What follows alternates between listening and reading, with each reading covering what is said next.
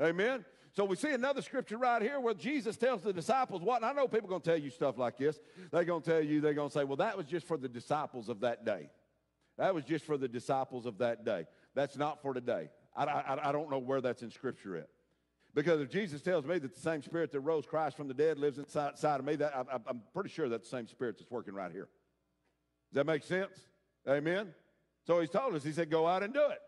And if people tell you that's not for today, that was just to establish the church, listen, the church needs to be established just as much today as it ever was back then.